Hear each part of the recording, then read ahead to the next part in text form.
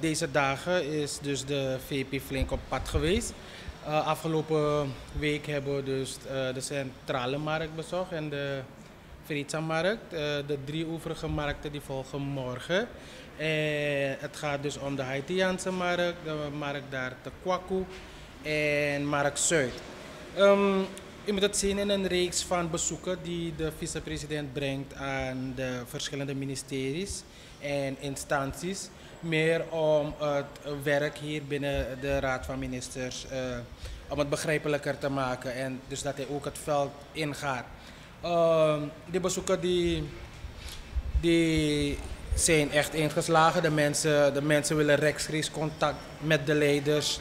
Uh, ze willen de leiders zien, ze willen even praten met de leiders om weet je, tenminste zeg maar de leed of uh, de moeilijkheden, de problemen die ze allemaal ervaren, dat ze die ook uh, tenminste kunnen uiten of uh, kunnen delen.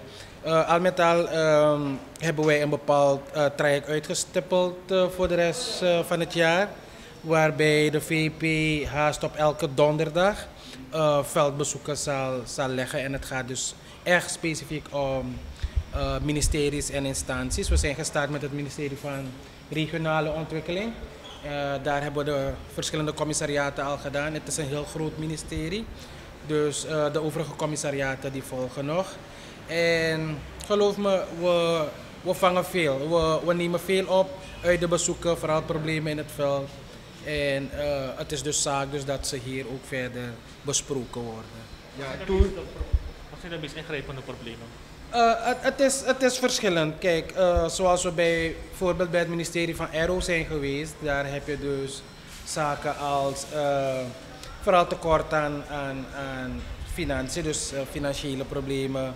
Maar ook heel wat logistieke zaken. Mensen zitten te, te dicht op elkaar. de COVID-protocollen soms worden niet in acht genomen. de motivatie die, die is er soms niet.